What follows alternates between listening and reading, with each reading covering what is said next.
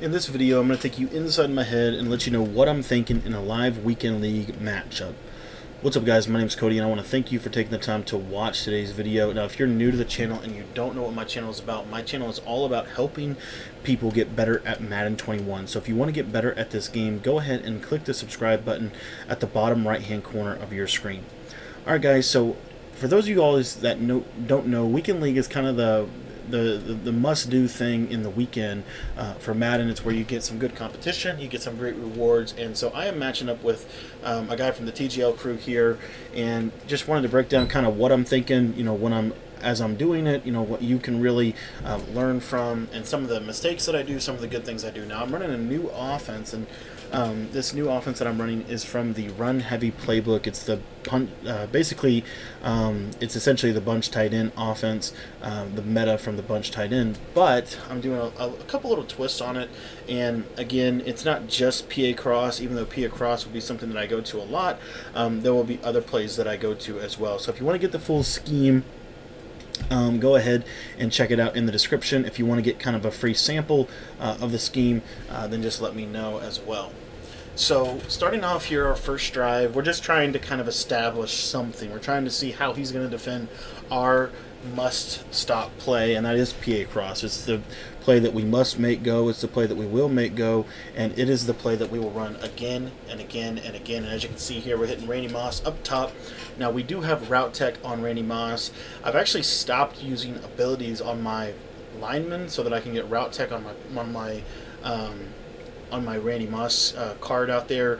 So you know we're going to be interesting to see how that goes. Now I am terrible on special teams, so if I miss a kick, um, I'm just not a very good special teams player. So uh, defensively, I'm running my 3-3-5 wide scheme. I actually haven't done an inside the mind, I don't think. Um, with me running this 3-3-5 wide defensive scheme. It's been the best defense in the entire game, um, and it's been the best defense pretty much all season long. So I'm excited to jump into that as well. And if you want to get again, if you want to get that scheme, uh, that is also in the ebook, or the ebook is also in the description as well of this video. So one of the things that's been going on in Weekend League, which I'm not sure if this happens every weekend or you know just in particular this weekend it is just extremely bad. But I just feel like it is really really really laggy um, so uh, I've been having a hard time kind of getting you know just getting all my guys where they need to be. So uh, we'll see how that goes. Um, now it looks like he's gonna run the same basic offense here. So I'm going to try to hit him with a user rush. We're not able to get home so we're just trying to get tackle here. Um, we were going to try to hit him with a, a, a, pass rush there, but that was probably a bad strategy. Uh, the blocking that you get from bunch tight end is super effective in my opinion, um, and it just makes it so that it's really really hard um, for uh, for your opponent to you know really be able to you know get good you know get a good block shit against you. That playmaker is unreal as well. Um, I didn't tell you that as well that I do have playmaker on my wide receivers. Um, on my Terry McLaurin card on that drag route, I always have a playmaker on that um, in MUT specifically for um, something like this right here. So here, there's your playmaker, there's the delay fade, and as you can see, I mean, that's just a really, really good combo that he's got going right there. So I'm going to have to adjust to that as this game goes on. Um, right here, I'm actually going to go to a little a little bit of a zone look here, little Mike Blitz 3 zone coverage look here. Um, try to take that away. Only problem is we left the playmaker wide open again. So the playmaker is one of those things that's going to be hard to stop. Um, and really, um, let's see here. He's probably going to run the ball on us here. But really what we're trying to do is force him to um, he doesn't go outside. Um, what we're trying to do is we're trying to force him to basically have to kick field goals. Um, that's the, to me, that's I, I know it doesn't you know seem like it, but that to me is the best strategy for a scheme like this, as good as this is. So you know we're going to try to force him to take field goals. Um, got some hard flats out there able to make a good play on the ball there. That's going to bring up a third down goal. It's really hard to pass in the red zone consistently, at least in my opinion. Um, the biggest thing you know that we're going to have to watch out for is some type of curl route or something um, like that. So these outside thirds typically will play pretty good uh, right there. and I was like one split second away from an interception there. I felt like that was probably a bad read, but he's able to get the touchdown, and we both have relatively easy drives, and we were both running the same basic formation. So, uh, should be an interesting game plan um, or game as we go throughout here. Now, if you haven't subscribed yet, research has shown me that about 40% of the people that watch my videos are actually subscribed, which means that 60% of you guys aren't subscribed. So make sure to subscribe so that way you can get better at the game and just get more access to the channel, get more of our videos. We upload eight different videos a day, so we do a lot of different videos um, throughout the throughout the day. So make sure to you know make sure to subscribe so that you can get access to all of those all of those videos. Now, realistically, a couple things we have to monitor as the game goes on is kind of what he does with his user and, and kind of how if he runs PA cross all the all game long. Now, in my opinion, PA cross is one of those plays that you can literally run all game long if you make the right read. A lot of it's about making the right read. Um, so again, PA cross is our base play, and until he does something that's going to force us to have to really, you know, kind of consider getting out of that, out of that, um, you know, we're going to sit in that for most of the game. And right there, that was pretty good user by DK Metcalf over the middle there, but we're able to get that route um, to uh, our tight end. Now right here, we're going to go to another setup and just see what he's doing here and we should be able to hit that corner out. Now, in my personal opinion, I actually think that play right there might be better than what we normally run from bunch, um, than what we normally run from the bunch tight end formation. So, a lot of people don't really use that play. That's one of the number one plays that I will actually go to throughout the course of this game. You'll notice that there's really two major plays that I'm going to call. Uh, one of those is the play that you just saw, and then the other one is obviously the PA cross, which is obviously well spoken of. A lot of people know about that play, but what they don't talk about is, you know, what do you do to counter it? What do you do off of it? How do you make it into, you know, just a whole scheme um, as opposed to something like that? So right here, we're just going to take a sack. Um, I, I probably didn't do a great job of reading the reading the play there, but I just didn't see anything.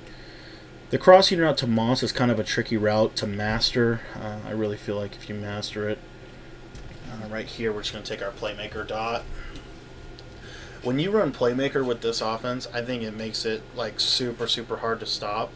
Um, right here, what we're going to do is we're going to kind of try to essentially bait him into using over the middle and try to hit this route to Moss.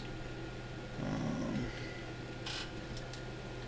and right there, we fit it into a really tight window. We probably shouldn't have even thrown that, but he's given up this corner route to Moss a lot, so we're going to go back to that here and just see if, you know, see if that's something that might be open. And it is on the sideline. Trying to break a tackle with Moss, get down. And we got about two minutes left. So right here, I'm going to audible into the trio. Now, I'm going to take this to the two-minute warning. The main number one reason is really because... Um, actually, I'm going to run this because I just didn't think he had a good look. And Barry's going to go ahead and get in there. I just I was going to take it to the two-minute warning, but the reason that I didn't was because I just felt like he didn't have a he didn't have his run defense set up. I felt like he was kind of scrambling, and honestly, I mean, he might have been able to tackle us, but he probably should have been able to tackle us with DK Metcalf. Um, you know, but we're able to scamper off the outside there and get in the end zone. So we're two for two so far on the offense. Defensively, we've just got to make a better. Um, we, we just got to play better on defense. We, we really haven't.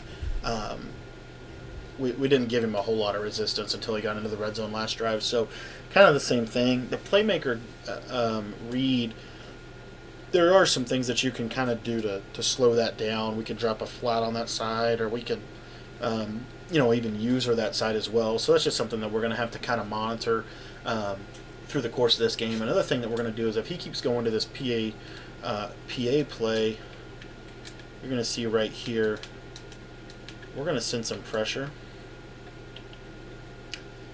Just going to go user here and he actually picked it up really, really well. We were trying to send, I think we sent six that time.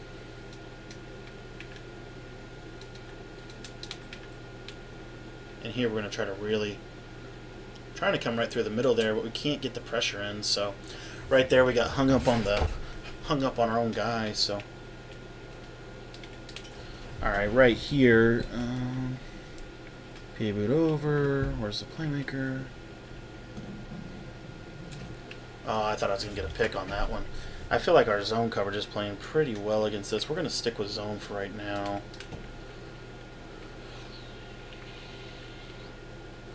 And we throws right to us. Nice job. Yeah, so right there we were just kind of baiting him into throwing that. We were trying to get him to think we were going to go take the drag route like we did on that last drive or on that last play, and he just made a bad read. We are basically we are going to jump to the drag, and then we are going to jump back onto the crossing route. We were able to get the stop. Um, so now we got to capitalize on it though, um, and there's that playmaker read once again, just being super big for us. And right there, I probably should have just ran it out of bounds, but I thought I could. I thought I could do a double juke back to the inside, but unfortunately, I only I only juked once. So right here, you know, mainly what we're doing right now is we're just trying to force him to do to, to have to overextend. He hasn't really overextended yet. Um, right there, he tried to get us with a user rush on the outside, and we're just going to take our drag. And what's what's really cool about this PA crossplay, um, in my opinion, is when you're running it really really well, like you can, it just it forces the defense to have to play darn near perfect, and if they don't play perfect, like you're going to have a pretty good shot at at really having a good chance to win the game there. So right there, I probably could have tried to RAC catch that upfield, but I just wanted to make sure I got the got the catch down. This run heavy playbook, I think the run heavy playbook is very very underestimated. This guy's going to go ahead and quit out, but as you can see, I mean, just a really really good um, offensive scheme. So we're undefeated with it in weekend league so far. Obviously, we haven't gotten super deep into weekend league, but we're we are undefeated um, with it. And if you want to get the full if you want to get the full ebook, go ahead and hit it up in the description. If you have any questions about the scheme, just text me. My number is 812 216 3644. Thanks for watching this video. I hope you enjoyed it, and uh, we'll see you guys in the next video.